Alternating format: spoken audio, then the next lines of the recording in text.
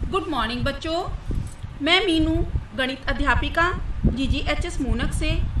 Catch up programme के अंतर्गत आज की एजुसेट कक्षा में आप सभी का स्वागत करती हूँ। बच्चों, आज हम कक्षा आठ के अध्याय चार आंकड़ों का प्रबंधन के बारे में पढ़ेंगे। हमने इस अध्याय को कक्षा सात में भी पढ़ लिया है, जिसका हम आज विस्तार रूप से रिवीजन करेंगे आंकड़ों का प्रबंधन। हम आंकड़ों का प्रबंधन किस प्रकार करते हैं?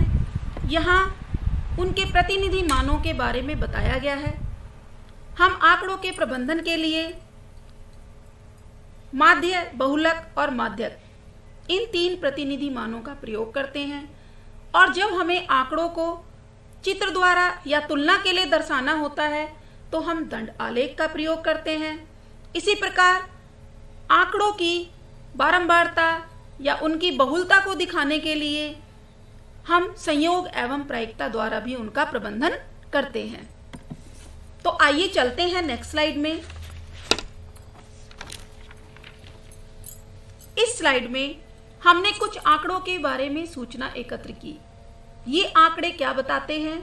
ये आंकड़े 20 छः 2020 को विभिन्न नगरों का तापमान दर्शाते हैं, जिनको हमने एक सारणी द्वारा दर्शाया गया है। इन आंकड़ों से हमें उस निश्चित दिन पर किसी भी नगर का तापमान व उनके तापमानों का अंतर आदि सूचनाओं के बारे में पता होता है। इनको दंड आलेखों द्वारा भी प्रदर्शित किया जाता है। तो आइए नेक्स्ट स्लाइड में देखते हैं, हम इनका प्रबंधन किस किस प्रकार से कर सकते हैं। तो आइए बच्चों, इस स्लाइड में हम माध्य किस प्रकार निकालते हैं, यह जानेंगे। एक कक्षा का उदाहरण प्रस्तुत किया गया है। यहाँ एक कक्षा चल रही है, जहाँ अध्यापिका अपने बच्चों से उन बच्चों की आयु के बारे में पूछती है और बच्चे विभिन्न प्रकार से उत्तर देते हैं। रीना कहती है, मैं बारह वर्ष की हूँ। विकास, मैं ग्यारह वर्ष का हूँ। राम, मैं बारह वर्ष का हूँ। राधा, मैं तेरह वर्ष की हूँ। और कमल, मैं बारह वर्ष का हूँ। इन सभी बच्चों की आयु का मध्य निकालने के लिए हम सभी बच्चों की आयु का योग करके कुल बच्चों की संख्या से भाग करते हैं। तो आइए हम माध्य सूत्र का प्रयोग करते हैं। माध्य बराबर सभी प्रेक्षणों का योग, बटे प्रेक्षणों की संख्या, जो कि बराबर आता है। यहाँ ऊपर आयु दी हुई है बारह प्लस ग्यारह प्लस बारह प्लस तेरह प्लस बारह बटे पाँच। योग करने पर साठ बटे पाँच आता है, जिसको अब हम पाँच से भाग देंगे। और पाँच से भाग देने पर भाग कैसे होगी? पाँच एकम पाँच। एक बार भाग जाएगी और साठ में भाग देने के लिए हम पाँच का पहाड़ा पढ़ेंगे तो बारह पंजे साठ होता है, इसलिए पाँच बारह हम साठ और बारह बार भाग जाती है। और उत्तर आता है बारह वर्ष। यह इसका माध्य है। प्रसार या परिसर। जब हम आंकड़ों या प्रेक्षणों को एकत्रित करते हैं तो हमारे प्रेक्षणों की शुरुआत से अंत तक उनका प्रसार ज्ञात करने के लिए हम सबसे बड़े प्रेक्षण में से सबसे छोटे प्रेक्षण को घटाकर परिसर ज्ञात करते हैं। अर्थात सूत्र है, सबसे बड़ा प्रेक्षण माइनस सबसे छोटा प्रेक्षण।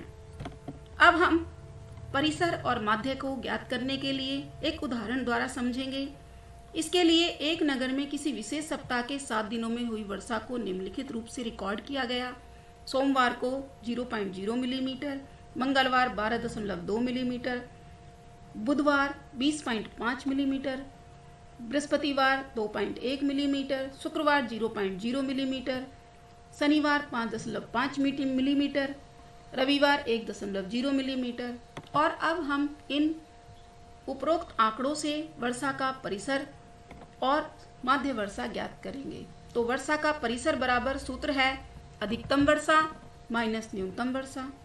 अधिकतम वर्षा 20.5 माइनस न्यूनतम वर्षा 0.0 मिलीमीटर, घटाने पर उत्तर आया बराबर 20.5 मिलीमीटर। इस प्रकार सप्ताह की मध्य वर्षा भी ज्ञात करेंगे और उसके लिए सभी आंकड़ों को जोड़कर सात से भाग करेंगे। सभी आंकड़ों को जोड़ने पर आएगा इकतालीस दशमलव तीन मिलीमीटर और इकतालीस दशमलव तीन मिलीमीटर को जब हम सात से भाग करेंगे, सात पंजे पैंतीस छः बचने पर तिरसठ हो गया, सात नम तिरसठ और बराबर पाँच पॉइंट नौ मिलीमीटर आ गया। उत्तर, एक क्वेश्चन को स्वयं करके देखेंगे। प्रथम पाँच, पूर्ण संख्याओं का माध्य एवं परिसर ज्ञात कीजिए।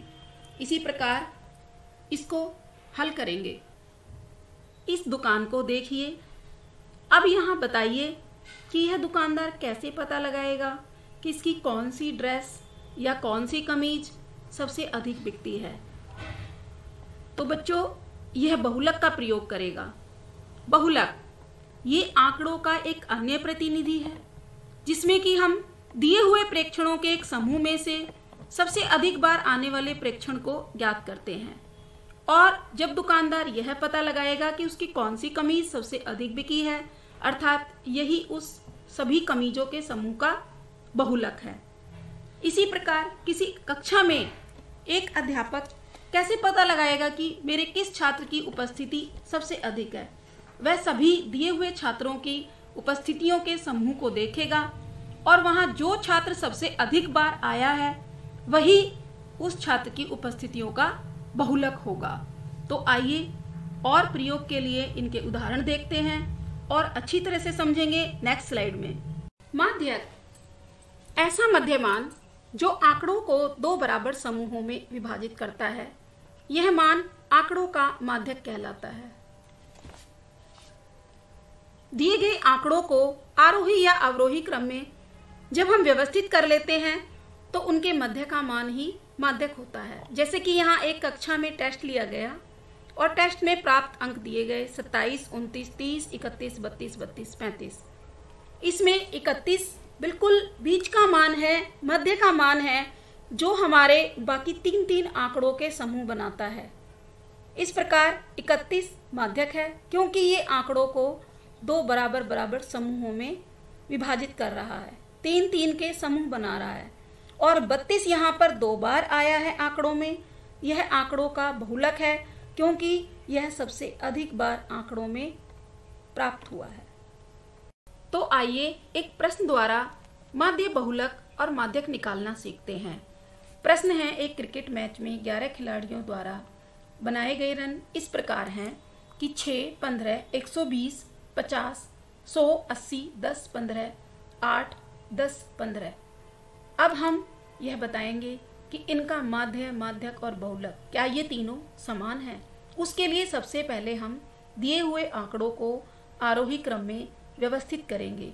व्यवस्थित करने के बाद हम इसमें माध्य का सूत्र लगाएँगे। माध्य का सूत्र होता है माध्य बराबर प्रेक्षणों का योग बटे प्रेक्षणों की कुल संख्या। यानी हम दिए गए सभी प्रेक्षणों का योग करेंगे और फिर उसको प्रेक्षणों की कुल संख्या से भाग देंगे। योग करने के लिए लिखेंगे हम बराबर छः प्लस आठ प्लस दस प्लस दस प्लस पंद्रह प्लस पंद्रह प्लस पंद्रह प्लस पचास प्लस अस्सी प्लस सौ प्लस एक सौ बीस बटे ग्यारह। अब हम इनके योग को ग्यारह से भाग करेंगे और इस प्रकार योग करने पर योग आया चार सौ उनतीस और बटे ग्यारह हो गया।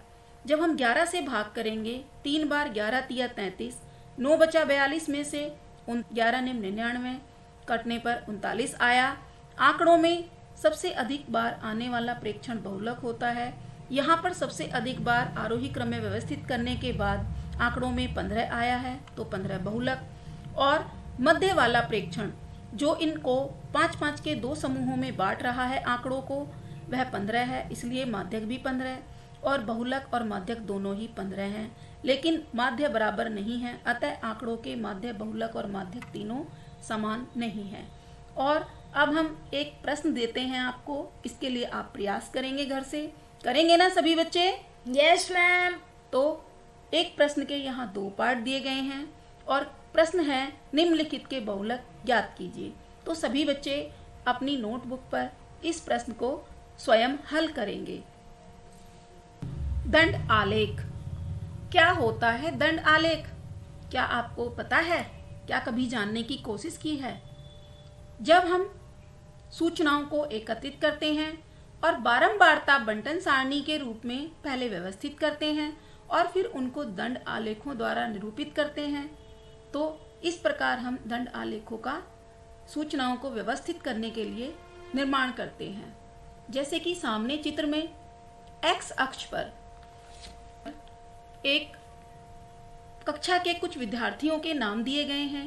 बाली, दीप्ति, फयाज गीतिका और हरि तथा वाई अक्ष पर इन बच्चों के 600 में से प्राप्त अंकों को दर्शाया गया है और इनको दर्शाने के लिए हमने लाल रंग के स्तंभ का प्रयोग किया है। इन्हीं को हम दंड आलेख कहते हैं। इन दंड आलेखों को बनाने के लिए हम एक स्केल का प्रयोग करते हैं। जैसे कि यहाँ दिखाया गया है, एक इकाई बराबर 100 अंक। तो इस प्रकार हम दंड आलेखों का निर्माण करते हैं। तो आइए, किस प्रकार बनते हैं ये दंड आलेख? हम नेक्स्ट स्लाइड में विस्तार से सीखेंगे। अब आया थोड़ा दंड आलेख को बनाने के लिए सबसे ज़्यादा ज़रूरी है कि हम किस प्रकार एक स्केल या मापदंड का चुनाव करेंगे। दंड आलेख को बनाने के लिए सबसे पहले हमें स्केल का चुनाव करना पड़ता है। क्योंकि दंड आलेख समान चौड़ाई के दंडों द्वारा संख्याओं यानी आंकड़ों का निरूपण है, तथा दंडों की लंबाइयाँ बारंबारताओं और चुने हुए स्केल पर ही निर्भर करती हैं। तो आइए सीखते हैं कि हम किस प्रकार इसके स्केल के लिए मापदंड का चुनाव करेंगे। उदाहरणार्थ, एक दंड आलेख में जहाँ संख्याओं को इकाइयों में दर्शाना है, आलेख एक प्रेक्षण के लिए एक इकाई लंबाई निरूपित करता है। यानी यदि हमें एक प्रेक्षण को वहाँ दिखाना है तो एक इकाई का मतलब एक प्रेक्षण के लिए एक इकाई लंबाई। और अगर हमें उसे दहाई या सैकड़ों में दर्शाना है, तब हमारा एक इकाई लंबाई दस या सौ प्रेक्षणों के बराबर होती है। जैसे कि सामने एक ग्राफ पेपर द्वारा दंड आलेखों को दिखाया गया है। इसमें राज्य के विधानसभा चुनाव का परिणाम दर्शाया गया है और सभी दलों को दल पी दल क्यू दल आर दल एस तथा दल टी द्वारा एक्स अक्ष पर दर्शाया गया है और उनके द्वारा प्राप्त की गई सीटों को वाई अक्ष पर दर्शाया गया है। दल पी के लिए जो दंड आलेख बनाया गया है, उसके लिए सबसे पहले हमने स्केल का चुनाव करना था। हमने स्केल माना एक इकाई बराबर दस सीटें। क्यों माना हमने यह स्केल? क्योंकि यहाँ पर अधिकतम सीटें 120 तक दंड आलेख गया है तो हम 10-10 के खाने बनाकर हम यहाँ एक इकाई बराबर 10 सीटें मान लेंगे। और दो इकाई में 20 सीटें इस प्रकार 120 तक यह दंड आलेख 120 सीटें प्राप्त करने के लिए यह 12 इकाई तक पहुँच गया। दल क्यू ने 100 सीटें प्राप्त की? इसलिए यह 10 सीटों तक पहुँच गया। और दल आर ने 90 सीटें प्राप्त की तो यह सामने 9 इकाई 90 सीटों तक दर्शाया गया है। अब दल एस, एक इकाई, दो इकाई, तीन इकाई, चार इकाई, पाँच इकाई, इस प्रकार पचास सीटें दर्शाने के लिए हमने पाँच इकाइयों का प्रयोग किया है। दल टी ने सौ सीटें प्राप्त की हैं तो एक इकाई दो इकाई, तीन इकाई, चार इकाई, पाँच इकाई छः इकाई, सात इकाई, आठ इकाई, नौ इकाई और दस इकाई। इस प्रकार दस इकाई बराबर सौ सीटों को प्रदर्शित किया गया है। और अब हम आगे और दंड आलेख को किस प्रकार बनाते हैं, यह विधि सीखेंगे।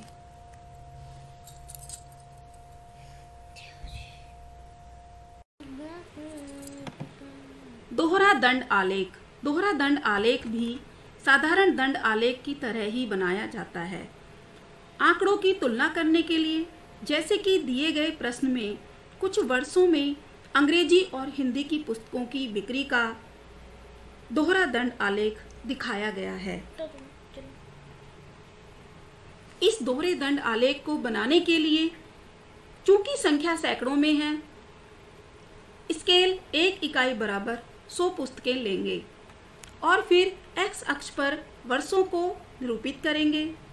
उसके बाद वाई अक्ष पर अंग्रेज़ी के साथ साथ हिंदी के दंड आलेखों को भी निरूपित करेंगे और इस प्रकार दोहरा दंड आलेख बनाया जाता है।